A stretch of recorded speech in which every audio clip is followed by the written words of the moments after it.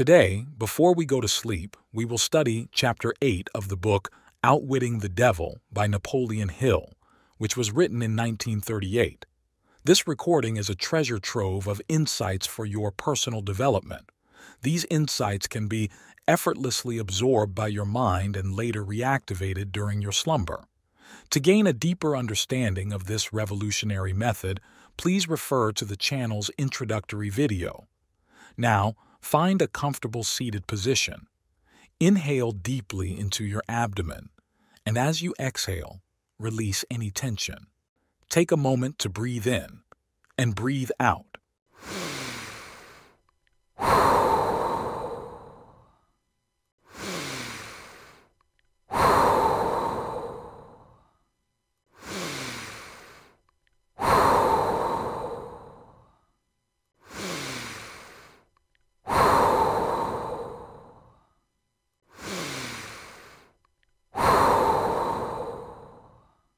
Now pay close attention and listen carefully with total concentration. Outwitting the Devil Chapter 8 Definiteness of Purpose Q. Your Majesty will now proceed to unfold the secrets of the seven principles through which human beings may force life to provide them with spiritual, mental, and physical freedom. Do not be sparing in your description of these principles. I want a complete illustration of how the principles may be used by anyone who chooses to use them. Tell us all you know about the principle of definiteness of purpose. A. If you go through with this mad idea of publishing my confession, you will open the gates of hell and tum loose all the precious souls I have collected back down through the ages. You will deprive me of souls yet unborn, you will release from my bondage millions now living. Stop, I beg of you. Q, open up.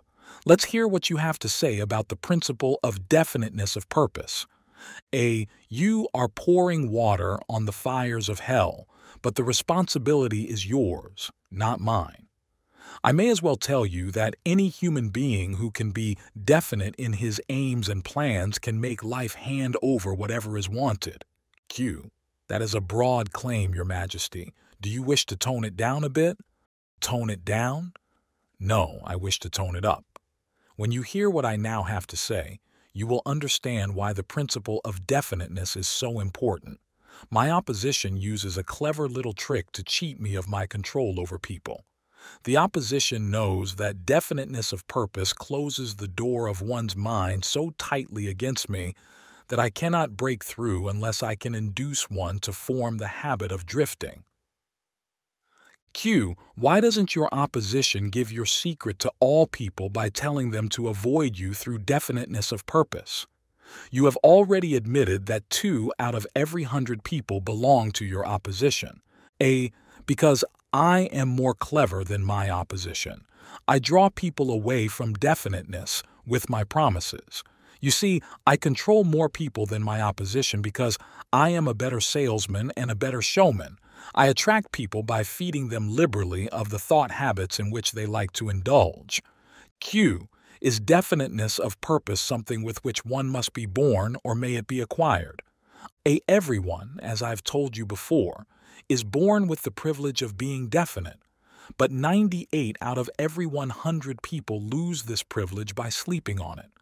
The privilege of definiteness can be maintained only by adopting it as a policy by which one is guided in all the affairs of life. Q. Oh, I see.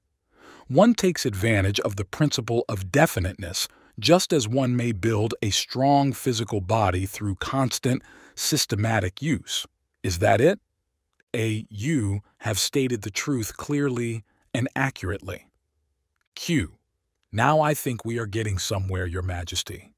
We have at long last found the starting point from which all who become self-determining in life must take off. We have discovered from your astounding confession that your greatest asset is man's lack of caution, which enables you to lead him into the jungle of indefiniteness through simple bribes. We have learned, beyond the question of doubt, that anyone who adopts definiteness of purpose as a policy and uses it in all of his daily experiences cannot be induced to form the habit of drifting. Without the aid of the drifting habit, you are powerless to attract people through promises. Is this correct? A. I couldn't have stated the truth more clearly myself. Q. Go ahead now and describe how people neglect their privilege of being free and self-determining through indefiniteness and drifting. A. I have already made brief reference to this principle, but I will now go into more minute details as to how the principle works. I shall have to begin at the time of birth. When a child is born, it brings with it nothing but a physical body representing the evolutionary results of millions of years of ancestry. Its mind is a total blank. When the child reaches the age of consciousness and begins to recognize the objects of its surroundings, it begins also to imitate others. Imitation becomes a fixed habit. Naturally, the child imitates, first of all, its parents. Then it begins to imitate its other relatives and daily associates, including its religious instructors and school teachers. The imitation extends not merely to physical expression, but also to thought expression. If a child's parents fear me and express that fear within range of the child's hearing, the child picks up the fear through the habit of imitation and stores it away as a part of its subconscious stock of beliefs.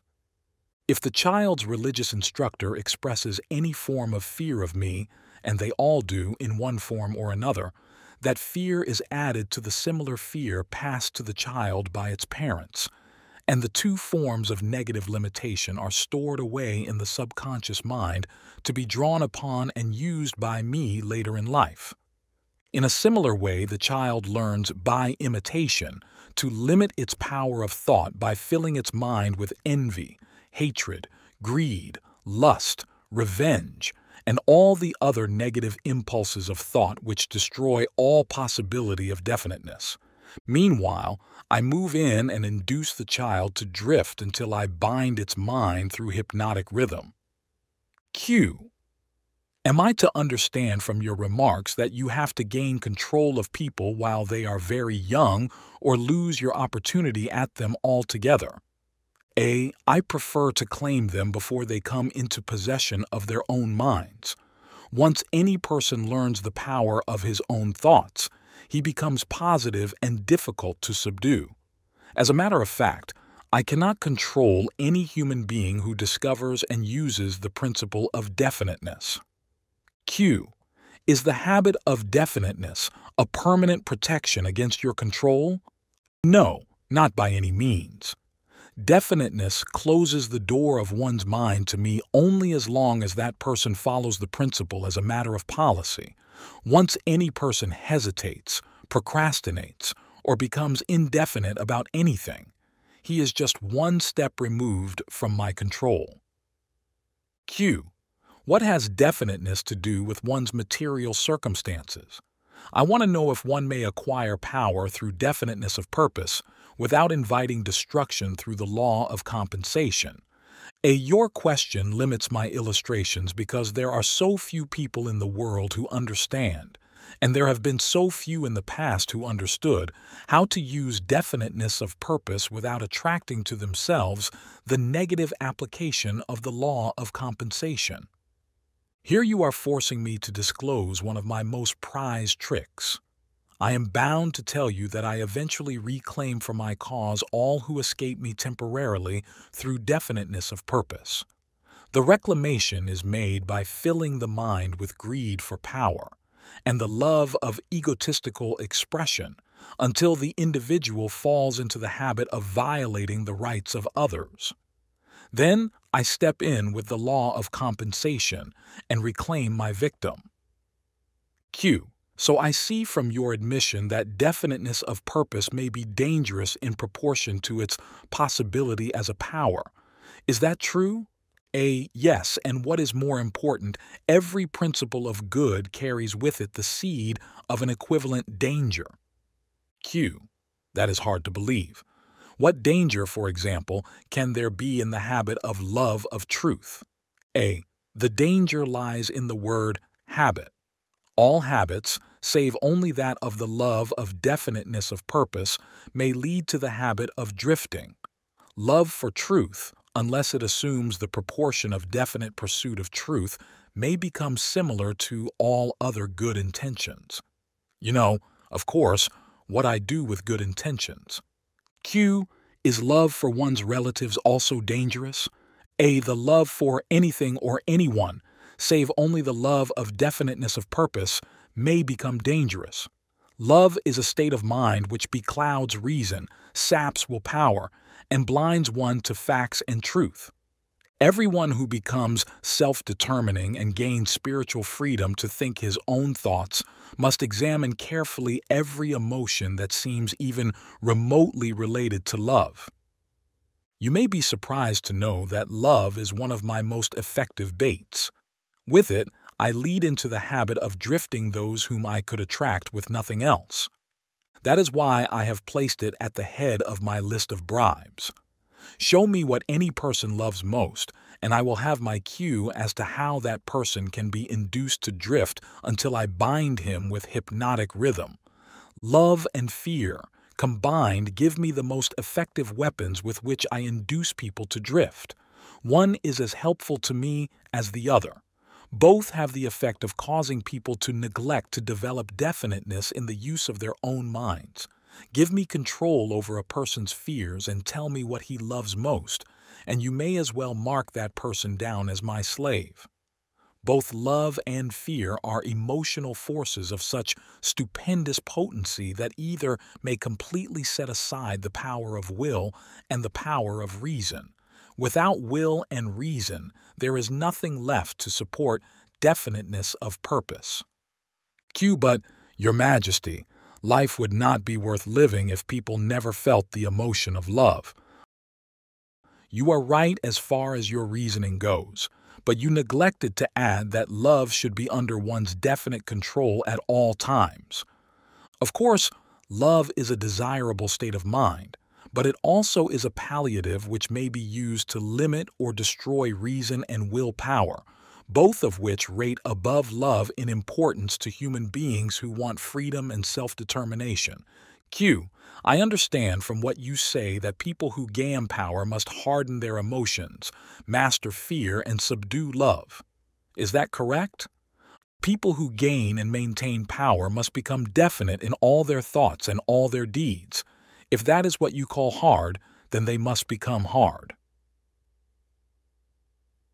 Q. Let us look into the sources of advantage of definiteness in the everyday affairs of life. Which is more apt to succeed, a weak plan applied with definiteness, or a sound, strong plan indefinitely applied?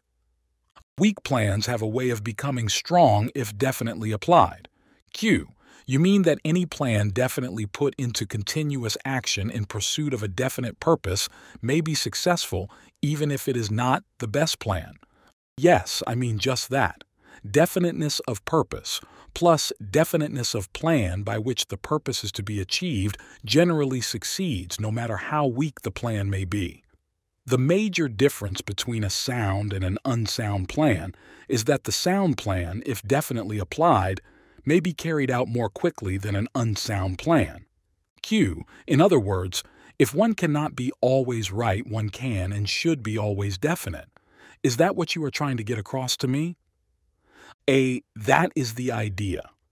People who are definite in both their plans and their purposes never accept temporary defeat as being more than an urge to greater effort. You can see for yourself that this sort of policy is bound to win if it is followed with definiteness. Q. Can a person who moves with definiteness of both plan and purpose be always sure of success?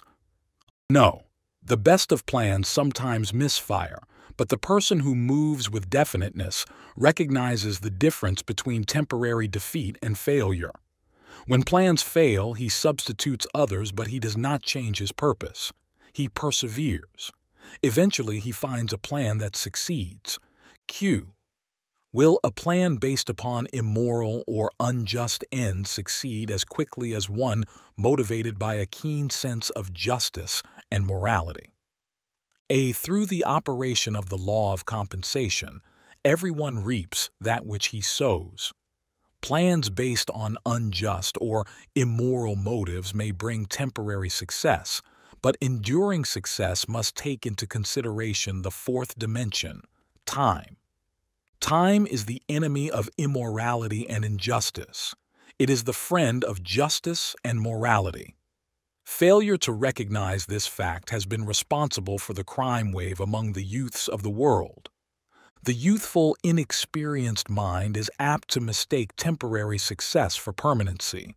The youth often makes the mistake of coveting the temporary gains of immoral, unjust plans, but neglects to look ahead and observe the penalties which follow as definitely as night follows day. End of chapter 8. Take a moment to breathe in and breathe out.